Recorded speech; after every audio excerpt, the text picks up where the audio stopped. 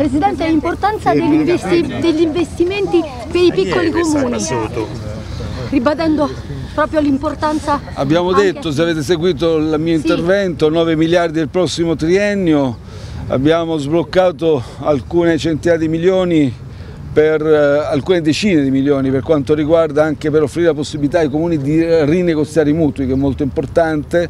Abbiamo in cantiere ulteriori interventi a favore dei piccoli comuni che sono eh, ovviamente rappresentano ecco, l'anima civica anche della, e sicuramente garantiscono la qualità democratica del nostro Paese.